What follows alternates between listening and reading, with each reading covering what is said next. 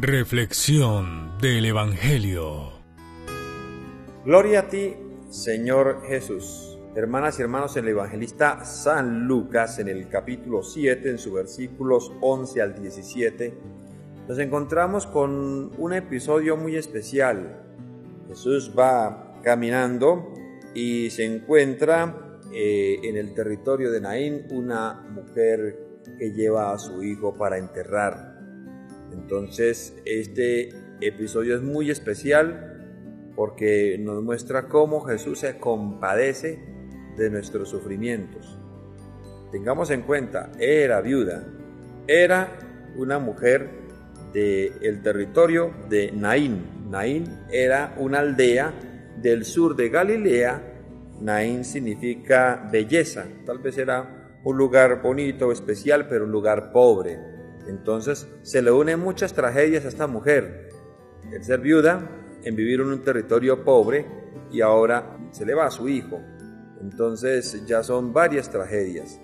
Veamos en este episodio tan especial en donde la mujer era desvalorada sin tener en cuenta para nada, es el episodio en donde Jesús acude a ella.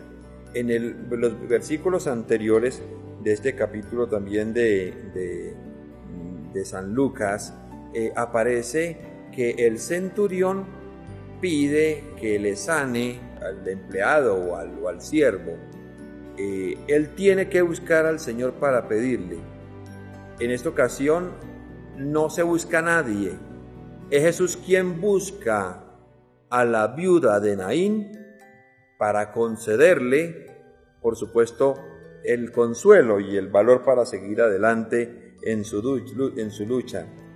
Jesús, por tanto, actúa con prontitud y le dice a la mujer, no llores.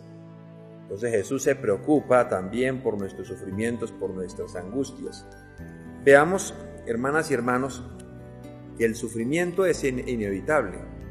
El sufrimiento es una experiencia muy amarga para nosotros. Dios no nos prometió a nosotros una vida de felicidad sin sufrimiento y de hecho vemos también, encontramos muchas personas que a pesar de padecer sufrimientos, son felices, viven la felicidad interior. Es algo muy especial, algo pues muy eh, poco usual para nosotros saber que encontramos personas que a pesar de tanto sufrimiento, son felices, viven la paz interior. Eh, en el momento del dolor Jesús acude y el Señor consuela, por eso dice el pueblo, Dios ha venido a visitar a su pueblo. Y hay otras versiones que dice Dios ha venido a consolar a su pueblo. ¿Qué es el consuelo de Dios? Vamos a escucharlo con estos testimonios. Hola, soy Adriana Teo. Sentí el consuelo de un Dios en un momento muy duro. Como fruto de la violencia, perdí a mi esposo y a mis dos hijos. Además, una hija, por situación del trauma de esta tragedia, entró en un estrés que terminó en un centro psiquiátrico. Ahora solo vivo con ella, pero pese a la tragedia, Dios no me ha desamparado, me ha hecho cada vez más fuerte y no me ha faltado el pan. El amor de Dios me ayudó a perdonar a mis agresores y ahora vivo en una paz tan admirable que siento que la tragedia me hizo cambiar mi forma de ser, pues antes era muy dura y difícil. Antes no sentía paz en una celebración eucarística. Ahora siento un gozo único. Nadie entiende cómo después de una experiencia tan amarga haya tanta paz. Solo se logra cuando uno se deja consolar por él. Dios los bendiga.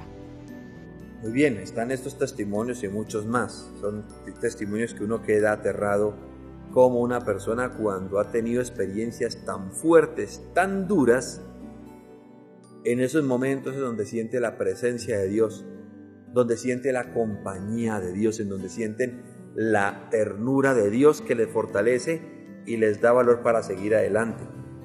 Dice, por tanto, la primera carta de San Pedro en el capítulo 5, versículo 10, y después que hayan sufrido un poco de tiempo, Dios los restablecerá y fortalecerá, los hará fuertes e inconmovibles. Entonces, dentro del sufrimiento que es inevitable en esta vida, Dios aparece fortaleciendo el corazón de la persona que sufre, pero cuando se deja apoyar por Dios. Hay personajes que aceptan el sufrimiento y lo toman como una prueba de vida, pero debe ser muy duro también eh, vivir en el sufrimiento sin Dios. Y a pesar de que tomen el sufrimiento como un escalón más para subir, para llegar al éxito, pues sufrir sin Dios es complicado.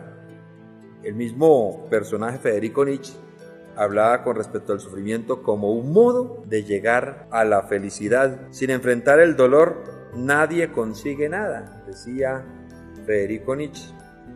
Para obtener las cosas que valen la pena hay que sufrir. La felicidad no se consigue escapando de los problemas, sino trabajándolos para ponerlos a su favor. Y así como este personaje hay muchos más que encontramos nosotros en la historia, sobre todo los existencialistas, que toman el sufrimiento como algo bien, eh, pues es parte de nosotros y, y bienvenido, pero sí pienso que sufrir sin Dios debe ser bastante difícil, bastante complicado. O también otros personajes existencialistas que llegan a pensar que el sufrimiento era parte de ese Dios que manda al hombre al castigo, que manda al hombre a sufrir, que el hombre es un ser arrojado aquí al mundo para sufrir. Pero no, observemos por medio de este pasaje de la viuda de Naín que Dios busca, acude al que sufre para darle fortaleza, para darle valor, para seguir adelante. Por esto, hermanas y hermanos, no podemos nosotros decir que nos libre de los sufrimientos porque algún día tendremos que padecer momentos difíciles. Pero por lo menos en aquellos instantes en que nos llegan los momentos difíciles, acudamos a Dios, dejémonos consolar por Él. Él mismo lo dijo, vengan a mí los que estén cansados y agobiados, que yo les aliviaré. Dejémonos consolar por Él, así como aquel chiquitín que va corriendo y se cae y se ve las heridas, ¿a dónde acude? A la mamá para que le consuele. Así tenemos que ser nosotros, acudir a nuestro Dios para que Él nos sane la herida, para que nos consuele, para que nos abrace, para que nos dé valor y seguir adelante nuestra lucha diaria. Así que hermanas y hermanos, es el momento de acudir a Él, tanto en la alegría como en la tristeza, tanto en la prosperidad como en la adversidad. Busquémoslo a Dios y sintamos su consuelo amoroso y así nos apegaremos mucho más a Dios porque Él nos ama con el consuelo. Y la bendición de Dios Todopoderoso, Padre, Hijo, Espíritu Santo, descienda sobre ustedes y les acompañe siempre. El Señor los siga bendiciendo.